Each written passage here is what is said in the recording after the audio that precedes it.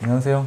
저는 인생이 힘든 사람들한테 읽고 쓰는 삶을 전파를 해서 그들이 삶을 바꿀 수 있는 어, 그런 사명을 가지고 일단 독서와 글쓰기를 어, 좋아하고 어, 일단 낮에는 좀 주중에 어, 본업이 있는 음, 어, 직장인 네. 작가입니다. 그래서 일단 부캐로서 이렇게 글을 쓰고 책을 읽는 사람으로 살고 있는데 어, 어, 다시 한번 소개해드리겠습니다. 오늘은 닥치고 글 쓰는 엔지니어 네. 외쓴 남자 황상열입니다. 아, 예, 만나뵙을 때 반갑습니다.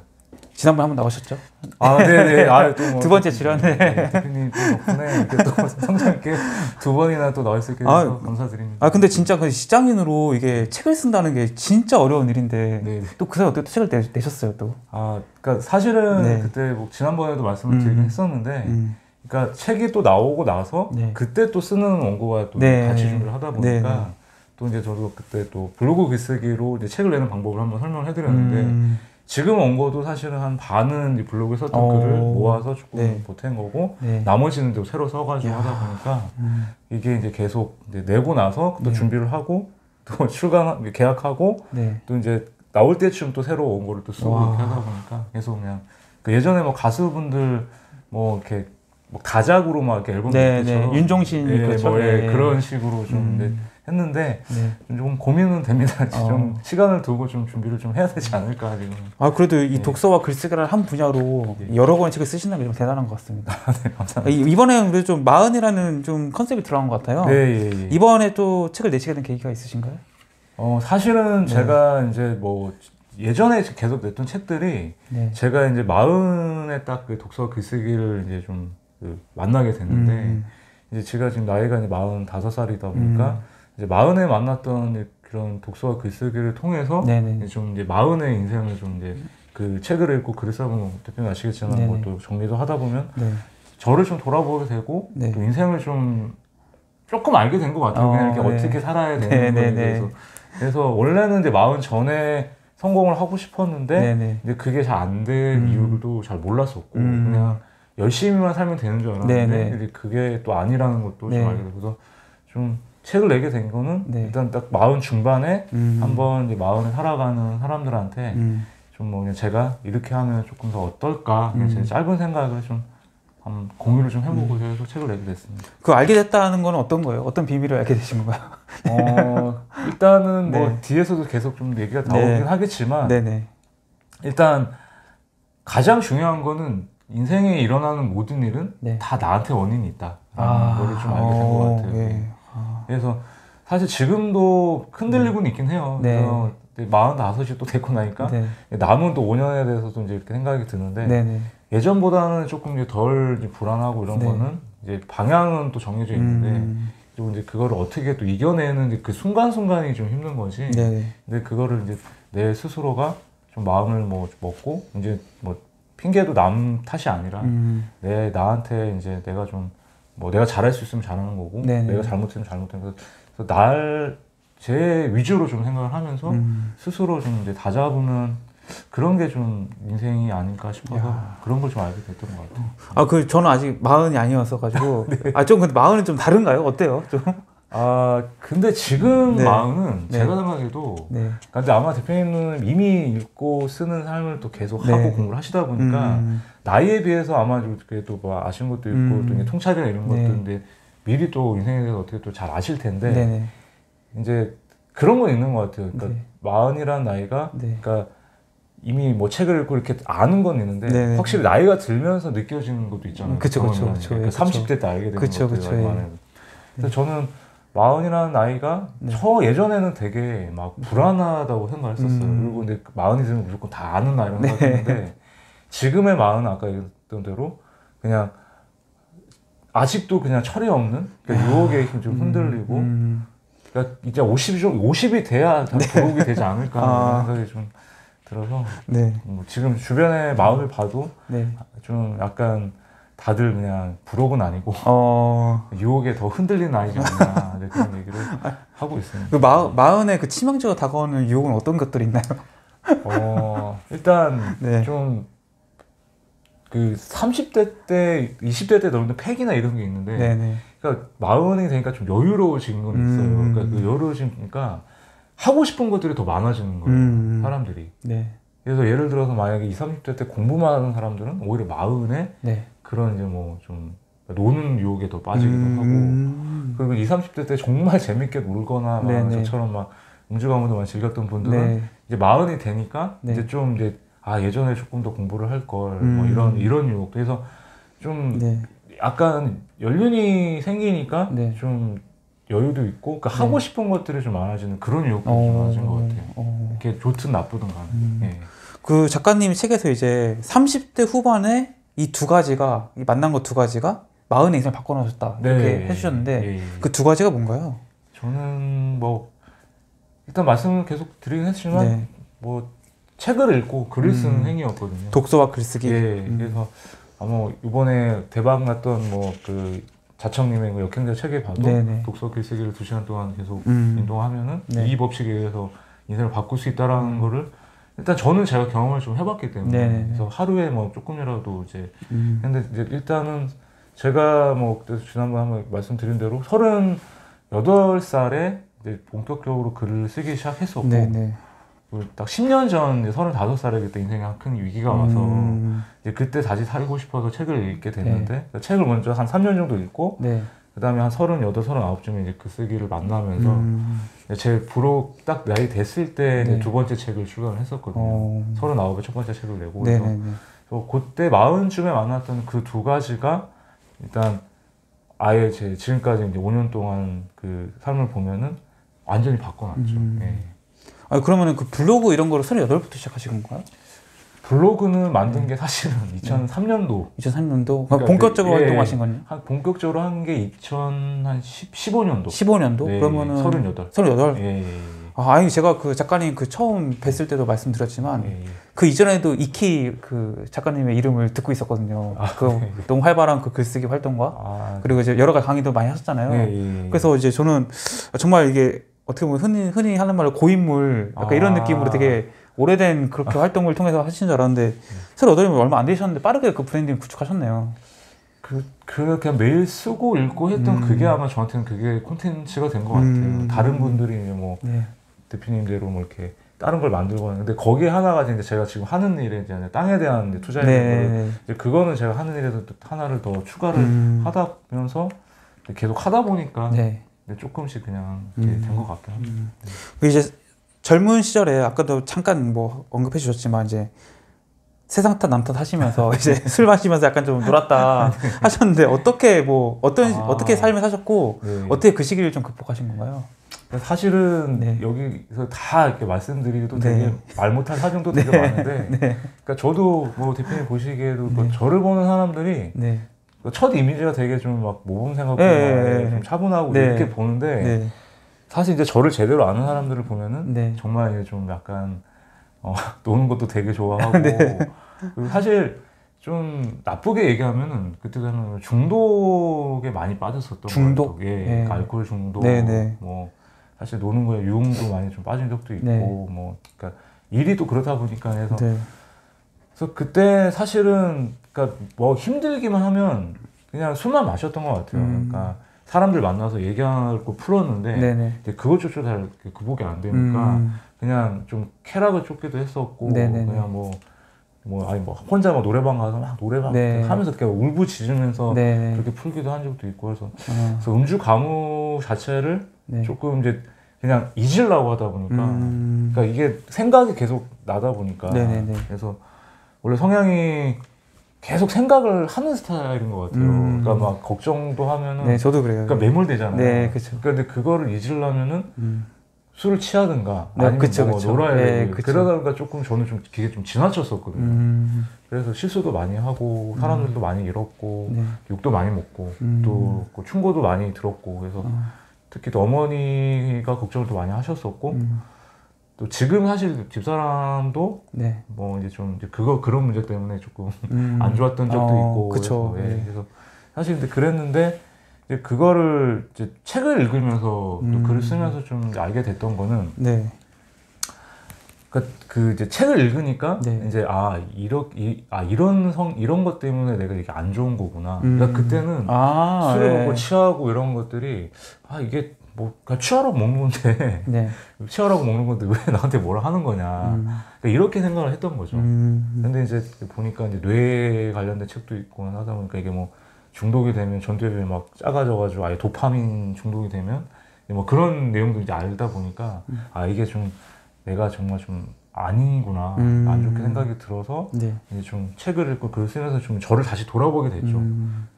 그렇게 하면서 인생에 대해서 이제 하나씩 좀 어떻게 보면은 그 온라인 게임 같은 네. 경우는 하는 이제 question 네. quest가 나오면 이렇게 해서 만 레벨이 올라가잖아요. 네, 네, 네. 그런 식의 한 quest를 깨면은 어. 미션이 완료가 되면서 좀더 하나를 뭔가 알게 되고 음. 그러면서 조금 하나씩 하나씩 이겨냈던 어. 것 같아요. 그래서 책을 읽으면 네. 그 저자가 했던 그, 그 저자가 이렇게 극복했으면 그걸 하나 이제 좀 그쵸. 제가 적용을 해보고 네. 이게 맞으면 계속 그렇게 가고 음. 그래서 그렇게 해서 아마 극복을 했던 것 같습니다. 아 그러면은 그 중독이라는 표현을 쓰셨는데 네. 뭐 얼마나 심했던 거예요? 네. 아, 그러니까 이게 네. 그러니까 사람들이 보기에는 그냥 멀쩡하게 보일 수는 있는데, 음. 그러니까 거의 알코올 중독은 거의 매일 술을 마셨으니까. 음. 그래서 지금도 그러니까 그 버릇을 조금 이제 많이 나아지긴 했는데 네.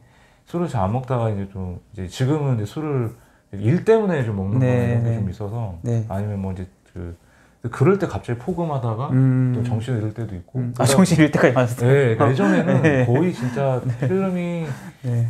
끊길 때까지 먹었어요. 어, 그러니까 아, 자주 끊겼었고. 힘든 걸 잊으려고. 예. 네. 음. 근데 그게 너무 지나치니까 그러니까 아, 집에도 어떻게 하는지 기억이 없고 어. 그래도 시- 뭐 실수도 많이 했고 네네. 막 이래가지고 좀 사람들한테 민폐를 많이 또 끼치기도 음. 했었죠. 음. 아. 것 때문에.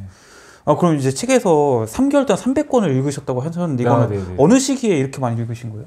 그때가 딱 10년 전에 그러니까 네. 처음에 어. 그때 나락으로 떨어지고 네네네. 지난번에 닥치고 글쓰기 책이나 이 앞에 냈던 이제 지근님당의 책을 만나자 그 책이 이제 네. 그때 얘기를 좀 쓴 건데 음. 10년 전 35살 때 다시 이제 책을 이제 읽기 시작해가지고 찾아보려고. 네. 근데 그때 3개월 동안 그때 이제 그러니까 3개월 동안 책만 읽었던 건 아니고 네. 어, 10년 전에 이제 그때 좀 방황하다가 또 다시 돈은 벌어야 되니까. 음. 그러니까 제가 이제 하는 일이 이제 도시계획 그 엔지니어로서 네네. 이제 그 도시계획 엔, 그 작은 회사에 또 쉽게 취업은 가능해요. 그래가지고 일단 취업하고 안양에 있는 회사를 다니면서 이제 뭐 야근하거나 이럴 때 빼고는 집에 와서는 거의 뭐 새벽까지 책을 읽고 네네. 오. 그렇게 해서 300권을 네. 자기 개발서를 그렇게 읽고 적용했던 거 했었죠. 아니 권수도 엄청나게 많은데 이 네. 3개월이라는 그 짧은 시간에 집중해서 읽으신 거잖아요. 그렇죠. 그러니까 그 3개월 한 뭐 거의 한 90일, 100일 이 정도 시간인데 네. 어떤 변화가 일어나는 거예요?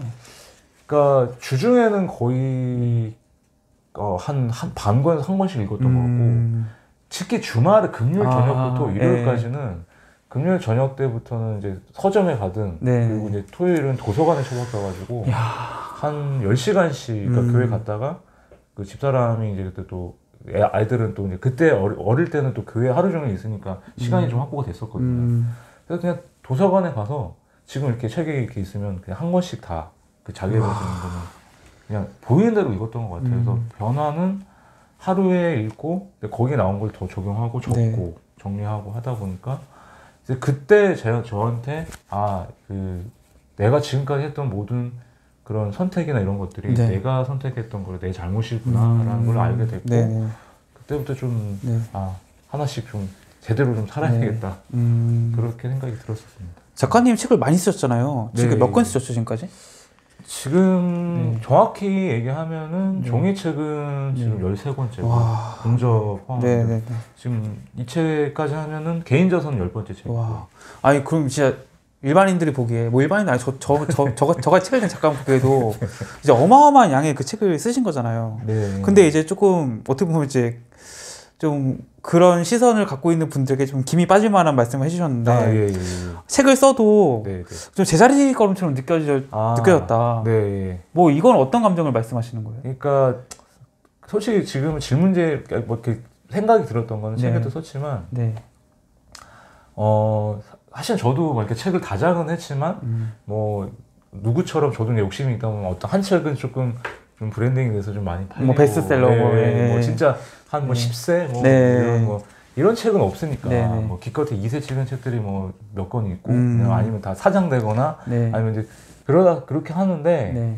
그러니까 제자리 걸음이지만 그냥 계속해서 책을 내고 싶은 이유는 음. 첫 번째는 네네. 일단 제 꿈이 그냥 죽을 때까지 일단 읽고 쓰는 삶을 하- 살고 싶기 때문에 그 전제가 있어서 예. 그- 그때도 한번 얘기했지만 100권의 책을 쓰고 싶은 게제 음, 인생의 목표고 음. 그리고 여전히 제가 이제 제 글이 부족하다는 걸 좀 많이 느끼다 보니까 네네네. 이렇게도 써보고 저렇게도 써보고 그냥 음, 이 책에는 좀 인생의 실험의 연속이다라고 이렇게 편이 있는데 음. 계속 그렇게 그냥 저도 지금 이번에도 인문학 책을 한번 내봤던 거고 네. 그 전에는 이제 글쓰기 책을 내봤던 거고 네. 또 앞으로는 또뭐 엔자음과 관련된 책을 쓰고 있는데 네. 그런 식으로 다양한 시도를 하면서 제 글을 많은 사람들이 그냥 뭐 많이 봐줬으면 좋겠지만 음, 도움이 되는 분한테는 좀 도움이 될 수 있게 네. 계속 그냥 그렇게 좀 읽고 쓰는 삶을 살고 싶어서 음.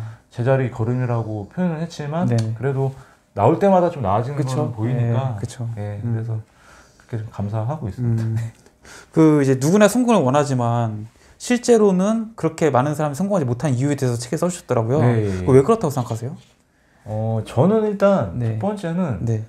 그러니까 조급함 때문에 있는 조급함? 것 같아요. 예, 그러니까 음. 사람들이 그러니까 누구나 성공을 원하는데 그렇죠. 이게 그러니까 시간을 좀 투자하고 견디고 이러면 시간을 못 견뎌하잖아요. 특히 네, 우리나라 네. 사람들은 또 빨리빨리에 대한 그런 게 또 많다 네. 보니까 그래서 제가 봤을 때 성공을 그 못하는 이유 중에 하나는 그러니까 조급하니까 뭔가를 시도해도 또 금방 포기를 해요. 음, 맞아요, 맞아요. 금방 포기를 해버리니까 네. 이거 했다 저거 했다. 그래서, 그래서 저도 사실은 이제 막 이 주변에 있는 사람들 보면은 저도 이제 조급하게 있- 있었거든요. 네. 근데 주변에 그래도 우직하게 한우물을 이렇게 팠던 분들이 보면 대부분이 음. 뭔가를 성공하고 대표님도 그렇지만 이렇게 하시는 걸 많이 좀 목표를 하다 보니까 음, 지금도 이제 제가 글쓰기, 책쓰기 뭐 이런 뭐 수업이나 뭐 땅이나 이런 것들 하나만 갖고 제가 몇 년을 계속 네. 해보는 이유가 네. 그렇게 되- 될 때도 있고 안 될 때도 음, 있잖아요. 그쵸, 사람 될 그쵸. 있고 예, 안될 때도. 근데 사람들이 그걸 못 견뎌 하다 보니까 음. 성공을 못 하는 것 같고 음. 또 하나는 아예 시도를 안 하는 거죠. 시도를 아예 안 하니까 네. 어떤 것도 일어나지 않고 네. 그냥, 생각만 하다 보니까 음. 그런 것 같고. 음, 그래서 일단 제가 봤을 때는 성공을 못 하는 이유는 조급한 거, 음. 시도하지 않는 거, 아. 그냥 생각만 하면서 네. 그냥 이렇게 뭐 기다 세월만 보내는 것들 음. 그런 뭐좀 그런 것들 때문에 좀 성공을 못하지 음. 않는 이유가 않나 싶습니다. 그러니까 그 둘을 합치면 이제 음. 도전을 해서 네, 조급해하지 않으면 그렇죠. 성공할 가능성이 높아진다. 네, 저는 네. 그 생각이 들어요. 음, 그래서 아마 좀 시간을 견디는 게 가장 중요하지 않나. 음. 아, 저는 이제 이 책에서 이제 한 권을 한 줄, 한 줄을 이제 꼽는다고 한다면은 그 인생 변화 공식 아, 네. 그거 네. 좋았어요. 아, 네. 네. 뭔지 한번 소개해 주면 좋을 것 같아요. 아, 그러니까 네. 일단 저도 좀 되게 좀 네. 일단 뭐 대표님도 하- 이미 하고 계시겠지만 네네.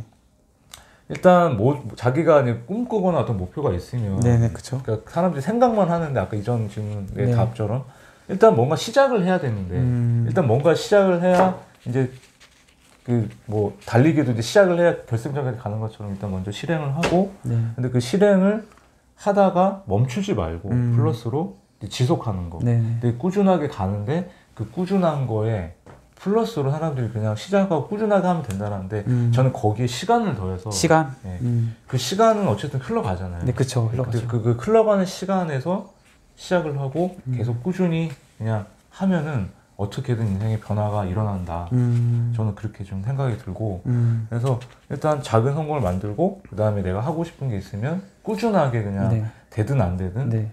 하면서 네. 시간을 견디는 거 음. 그게 인생의 변화를 가져올 수 있는 가장 빠른 방법이지 않을까. 이제 그 시간을 견디는 거를 많은 분들이 못 하시는 것 같아요. 그렇죠. 견디는 게 힘드니까 좀 예, 예. 노하우 같은 게 있으신가요?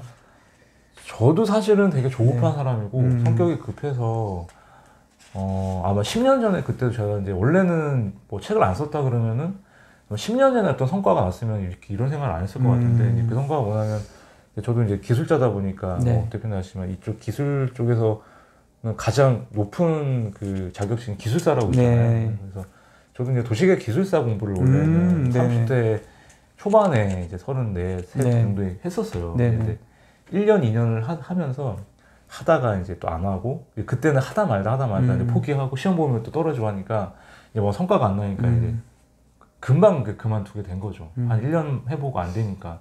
근데 그게 지금은 좀 후회가 되는 거예요. 음. 근데 그게 나중에 제가 이렇게 글을 쓰고 계속 책을 내고 또 하고 하다 보니까 그 기간 동안 시간을 견디는다는 게 저는 그냥 그냥 하, 면서 음. 그냥 하면서 되든 안 되든 그냥 보내는 게 시간을 견딘다고 생각하거든요. 어, 그러니까 이게 사람들이 이렇게 의식을 하는 게 아니고 네네. 그냥 어차피 시간이라는 건 대표님 흘러가잖아요. 그죠 흘러가죠 네, 흘러가죠. 그러니까 그 흘러가는 거에 맞추면서 음. 내가 하는 거를 꾸준히 그냥 네. 하는데 그 꾸준히 하는 거를 제대로 집중해서 이제 음. 그냥 거기에 몰입을 하는 거죠. 음. 그 그걸 몰입을 하다 보면 네. 그게 또 시간이 가니까 그러면 그 시간이 가만큼 그게 견디는 않을까 음. 그렇게 생각이 듭니다. 그럼 이제 이 인생 변화 공식에서 네, 네. 이 작가님은 어쨌건 독서라는 거에 관심이 많으시잖아요. 예, 예, 예. 여기 사실 인생 변화 공식 자체 안에는 독서라는 게 없거든요. 아, 예. 예. 책 읽기가 여기에 어떤 영향을 줄 수 있을까요? 저는 네. 일단 책 자체가 네. 이 인생의 변화에 대한 이 공식에 대한 일단 이 한 줄에 네. 일단 시작을 할 수 있는 동기부여도 줄 수가 있고 음. 그 방식을 모르는 사람들이 아, 많이 있는데 네네. 자기개발을 어떻게 보면 뭐 결국에 보면은 지속해라 실행하라. 이런 것들이 다 들어가 있잖아요. 네네. 그러니까 어떻게든 독서를 통해서 이 방법을 또 알 수 있고 음. 그리고 하다가 지치면 네. 또 책을 또 읽다 보면은 거기서 또 한번 힘을 내서 또 할 수 있는. 또 뭔가 엔진이 될 수도 있을 음. 거고 그래서 저는 그 인생 변화 자체를 저는 그냥 전제로 깔고 싶어요 그냥, 음. 그냥 책 자체는 그러니까 책을 그냥 기본적으로 읽으시면 인생을 어떻게 바꾸고 싶다 어떻게 성공하고 싶다라는 거를 알 수 있기 때문에 음. 그냥 독서는 그냥 전제로 일단 무조건 책은 읽으시고 음. 그러면서 내- 자기가 하고 싶은 책을 통해서 또 자기 꿈을 찾을 수가 있잖아요. 네. 뭔가를. 그래서 그 찾을 걸 갖고 아까 인생 변화 공식에 대입을 해서 꾸준하게 뭔가 실현을 하면은 자기가 원하는 바를 이룰 수 있지 않을까 음. 그런 생각이 듭니다. 아, 이렇게 그 인생을 변화시키는 데서 책이 미친 영향이 굉장히 밀접하고 네. 영향이 큰데 네, 네. 어, 책을 대부분 사람들이 잘 읽지 않고 네. 꾸준히 하지 않는 이유가 읽었는데 뭐 똑같더라. 아 그렇죠. 네. 네. 거기에 대해서는 뭐라고 말씀을 하고 싶으세요? 저는 역으로 네. 책을 만약에 인생이 바뀌지 않는다는 거는 음, 그냥 음. 그냥 그냥 읽는 것 같아요. 그냥 그냥 음. 문장을 그냥 읽고 네네.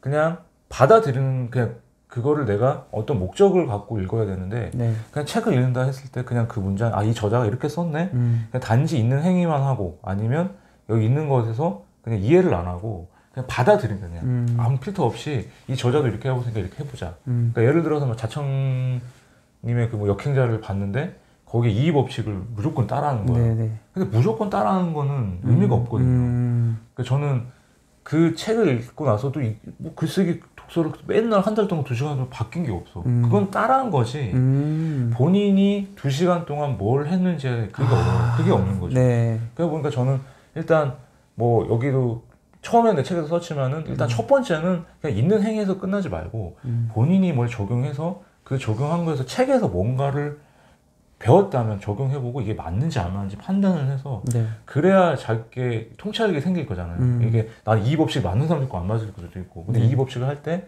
어떤 식으로 할지. 음. 그래서 그런 자신만의 좀 적용을 하면서 네. 실제로 그런 경험에서 결과가 나와야 음. 뭔가 이게 좀 바뀌지. 음. 그냥 책을 막 단순하게 읽고 아 이게 이 사람은 이렇게 했는데 왜 나는 안 돼? 이거는 아니라는 생각이 드는 것 같아요. 그래서 아. 책에서 뭔가를 얻었으면 적용을 하고 적용을 해서 그 네. 경험을 통해서 자기가 좀 뭔가 느, 얻는 게 있어야 음. 그래야 책을 읽고도 변화가 생길 수 음. 있다 이렇게 좀 말씀을 좀 드리고 싶습니다.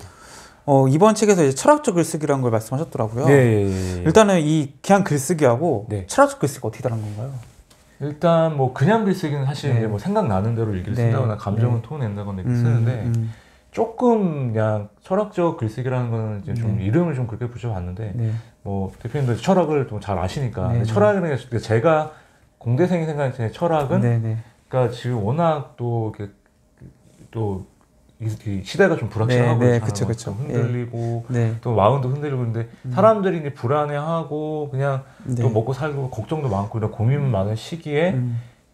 이럴 때 해결해 줄 수 있는 게 어떻게 보면은 저는 이제 철학이나 이제 인문학 이런 어. 거를 하거든요. 근데 철학 자체가 네. 원래 제가 생각하는 철학은 그 옛날부터 이렇게 쭉 내려왔던 시대는 변했지만 네, 네. 그 인간이 가지고 있는 그 고유한 본질들은 바뀌지가 않잖아요. 그쵸, 그쵸. 그 시대에도 칸트가 뭐 산책을 하면서 이렇게 고뇌를 한다거나 그쵸. 했고 지금 제가 어 뭐 이렇게 쭉 뭐 몇백 년 지났지만 뭐 이 시대에서도 저희가 책을 읽고 사색하고 이런 그런 본질은 또 비슷하니까 네네. 그래서 삶과 죽음 음. 뭐 이런 뭐 사랑과 뭐 이별 뭐 이런 인간이 가지고 있는 고유한 보편적인 그런 질문, 그런 주제를 한 번 더 갖고 와서 공부를 하면 네. 지금 이 흔들린 시대 안에서도 조금 더 그 사람들이 조금 철학을 알면 거기서 해답을 찾지 않을까 음. 싶어서 음. 거기에서 이제 결부를 시킨 게 철학적 글쓰기를 음. 한번 좀 어, 가져오게 된 거죠. 예. 어, 혹시 뭐 사례 같은 게 있나요? 뭐 예를 들어서 이런 글이 뭔가 철학적 글쓰기의 예시다 뭐 이런 거. 아, 좀 예를 든다고 하면은 네네.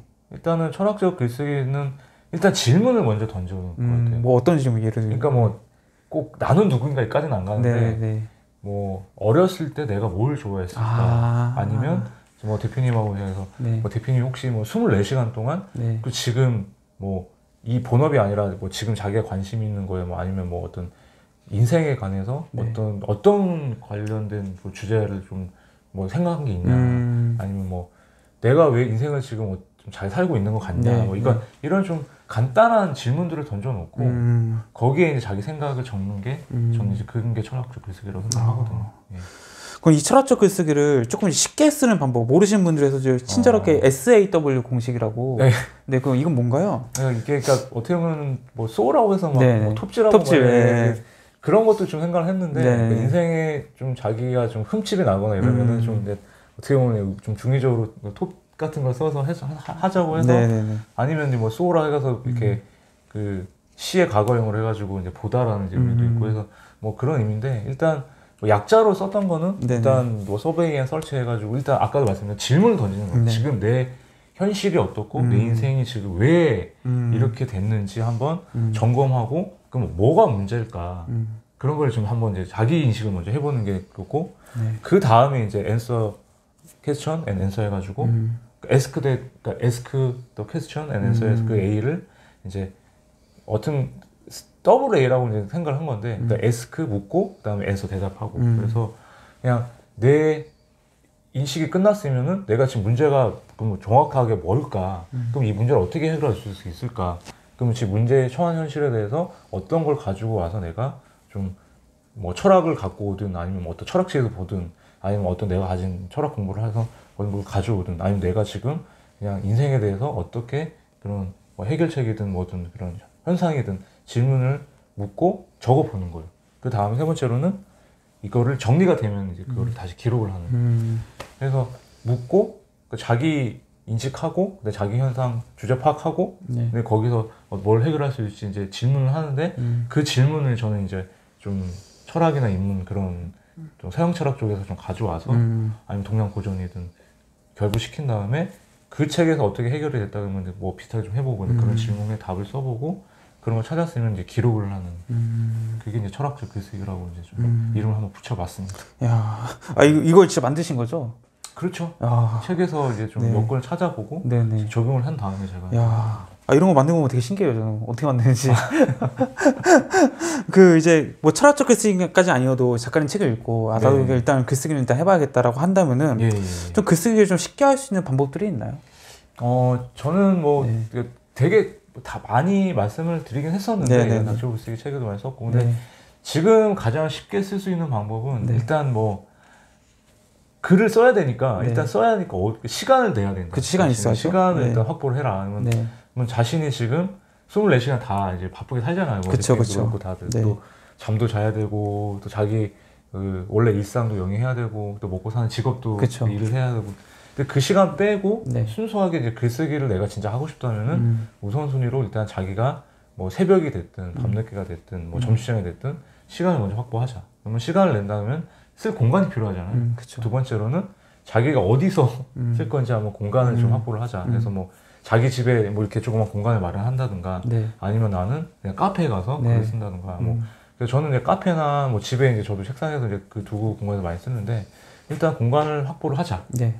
그 다음에 이제 글감을 찾았다면 무작정 쓰지 마시고 음. 그냥 한 5분에서 10분 정도를 내가 이 글을 왜 쓰게 됐는지 음. 아니면 어떻게 써야 할지 어, 무엇을 써야 할지를 한번 좀 생각을 하고 구성을 한 다음에 쓰자. 음. 일단 구성을 좀 하자. 생각을 하고 고민한 다음에 그 다음에 가장 중요한 네 번째가 자신이 쓸 수 있는 분량을 먼저 정해놓고 음. 끝까지 써야 된다. 네. 그러니까 사람들이 글쓰기 어렵다고 생각하는 건 제가 항상 강의 때도 말씀을 드렸는데 자신이 어느 정도까지 분량을 쓸 분량을 몰라요. 음. 그러니까 한 시간 동안 시간을 확보했는데 네. 자기가 한 시간 동안 딱 쓸 분량을 자기는 다섯 줄밖에 못 쓴 사람인데 음. 자꾸 많이 쓰려고 하니까 아, 이게 예. 산이 산으로 가고 해서 그쵸 그쵸. 그래서 저는 그래서 시간을 확보할 때 일단 자신이 쓸 수 있는 분량까지 파악을 해라. 음, 오. 그래서 그 분량만큼만 쓰면 자기가 다섯 줄만 쓰겠다 그러면 네. 다섯 줄만 쓰면 스트레스 받을 일도 없잖아요. 그쵸 그쵸. 그래서 그걸 한 달만 해보시고 이제 익숙해지면 그때부터 음. 한 줄씩 더 늘려가시면 분량을 더 늘릴 수 있으니까 음. 그리고 쓰다가 지울 말고 그냥 음. 한번 시작했으면 끝까지 쓰자. 음. 그래서 그거를 일단 이 네 가지를 좀 말씀드리고. 음. 어 그럼 그렇게 뭐 다섯 줄 쓰는 거뭐 네. 어떻게 보면 진짜 아무것도 아닐 수도 있잖아요. 네. 아그 그렇게 뭐 글 써서 대체 뭐가 되냐? 음. 글을 왜 써야 하냐? 이런 아. 질문 하시는 분들 뭐라고 말씀해 주고 싶으세요? 그러니까 글쓰기를 저는 왜 하냐고 한다면 네네. 일단 제가 글쓰기를 시작했던 이유가 제가 네. 이제 그 힘든 인생을 좀 극복을 하고 싶어서 저는 음. 썼던 건데 이제 극복을 하기 위해서는 제 감정이 어떤지부터 좀 저는 생각을 했던 것 같아요. 그래서 음. 일단 왜 글을 써야 한다고 모르, 물으신다면은 저는 지금 그냥 종이를 펴놓고 그냥 한번 써보시라고 하는 거예요. 제 음. 가- 감정 상태가 어떤지 아니면 내가 왜 힘든지 이거를 가감 없이 쓰다 보면은 일기부터 쓰는 거죠. 음. 그러면 조금 이제 마음이 가라앉는 그런 또 음. 약간 효과를 볼 수 있고 아 이게 좀글 쓰다 보면은 생각을 어떻게 할 수밖에 없거든요. 그렇죠. 그럼 자기 객관화가 또 돼요. 그렇기 때문에 글을 쓰면서 자기를 좀 제대로 알 수 있게 되고 음. 그리고 이제 감정을 토해내다 보니까 좀 자 그 토해낸 감정에 또 치유하고 위로 받을 수도 있고 네. 그래서 그런 효과를 가져오고 근데 그거를 계속 자신만의 글쓰기를 하다 보면은 그게 또 그 콘텐츠나 또 그런 것도 만들 수 그쵸, 있는 또. 무기가 될 수가 음. 있고 그리고 지금 말- 말씀하신 SNS가 워낙 많이 발달된 시대에서 맞아요. 지금은 누, 자기를 드러내기 위해서는 가장 기본적으로 글을 안 쓰면은 맞아요. 드러낼 수가 없잖아요. 맞아요. 네, 그래서 그런 종합적인 이유 때문에 저는 저를 찾기 위해서 쓰기 시작했지만 결국에는 이제 제 콘텐츠도 만들고 저를 드러내기 음. 위해서 좀 하다 보니까 어, 글쓰기를 하게 됐고 글쓰기 때문에 좀 인생에 필요한 무기까지 음. 얻게 된 것 같습니다. 음. 네. 이 끝으로 이제 구독자분들이 좀 해주고 싶은 말 있으신가요? 어 사실 요 근래 좀 되게 안 좋은 일이 많았잖아요. 네. 또 이렇게, 이렇게 시기가 뭐 지난 주 토요일 날 딱 일주일 전에 또 네. 있었던 이태원 참사나 네. 또 어, 이런 또 경제 상황도 좀 요새 또 안 좋고 네, 네 맞아요. 음, 맞아요. 금리도 오르고 막 이런 저희도 주변에 회사에서 보면 또 개발 사업도 이런 것들 잘 안 되니까 좀 네. 이렇게 좀 우울해하는 사람들이 많아요. 그래서 좀 트라우마도 또 시달리고 또 이렇게 그런 사람들에게 일단 어, 오늘 그냥 좀 힘드시다면은 네. 그냥 종이 딱 펼쳐놓고 네.